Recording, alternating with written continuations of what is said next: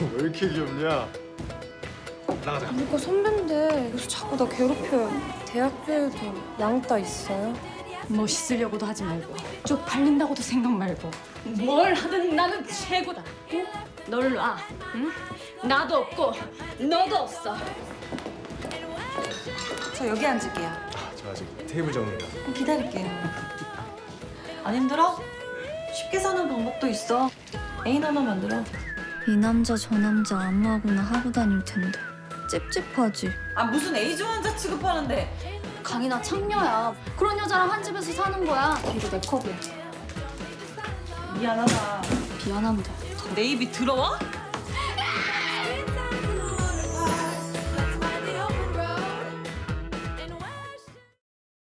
JTBC